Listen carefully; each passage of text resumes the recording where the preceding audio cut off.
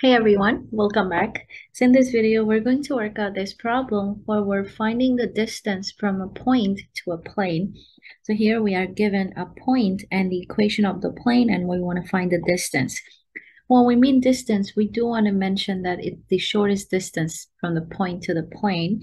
So let's suppose an illustration.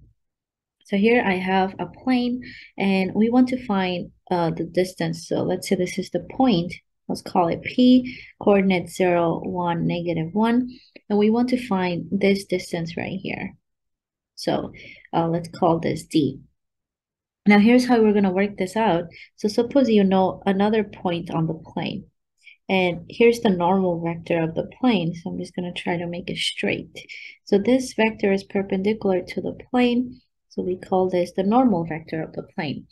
And we're going to create a vector from the point to this point right here. So we're going to create a vector.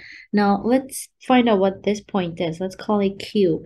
So you will find this point by plugging in some values for x, y, or z. So I'm going to go ahead and plug in x equals 0, y equals 0, and solve for z by using this equation. So if you set y to 0, you have negative 2z is equal to 12, so z is negative 6. So we know we have a point on the plane, which is 0, 0, negative 6. Okay, great. Now, how do we find this vector? Well, this vector, uh, q to p, you can find it by subtracting its component. So its component will be 0 minus 0, that's 0. 1 minus 0, that's 1. Negative 1 minus negative 6, that's 5. So that's the vector uh, q to p. Now here's what we're going to do. We want to find distance d. Now here we're going to create a right triangle so we can derive the formula. So let's suppose we have theta, which is between these two vectors, the normal vector and the um, vector q to p. So d is this right here. So this is the same uh, distance that we see here is the same thing that's right here. So we're going to use our uh, component projection to find this distance d. So we know d is going to be the component projection of the vector q to p onto the normal vector. So that will be the length of this projected vector, and we just need the component of it. So, um, so how do we find this? Well, this is going to be uh, the magnitude of the vector QP times cosine theta, because that's how the sides are related. And since I know the normal of this plane, I'm going to go ahead and multiply by the magnitude of the normal vector. So then this gives me um, the magnitude of QP times the magnitude of N times cosine theta divided by the magnitude of n. Now you should recall that this is a definition of our dot product. So we have the dot product between the vector qp and n divided by the magnitude of vector n. Now we want to take the absolute value of that since we're looking at distance. So that's how you're going to find the distance. Now working it out is very easy.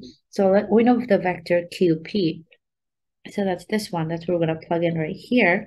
Now, n is the normal vector of this plane. So we know the normal vector, it's going to have component x0. The y component is negative 4, and z would be negative 2. So that's our normal vector, and that's what we're going to plug in right here. Take the dot product and divide by its magnitude. So this is equal to, uh, in absolute value, so QP is the vector 0, 1, 5, dotted with the normal vector, which has component 0, negative 4, negative 2. And we're going to divide that by the magnitude of n. So that's going to be the square root of 0 squared, that's 0, negative 4 squared plus negative 2 squared. And then this will give us, so on the numerator, we um, do the dot product. So we have 0 times 0, that's 0 plus 1 times negative 4, that's negative 4, plus uh, negative 2 times 5, so that's going to be negative, uh, 10. So we're going to take the absolute value of that divided by the square root of 16 plus 4. And this will give us uh, 14. We took the absolute value of negative 14. And on the denominator, you get square root of 20, which can be simplified.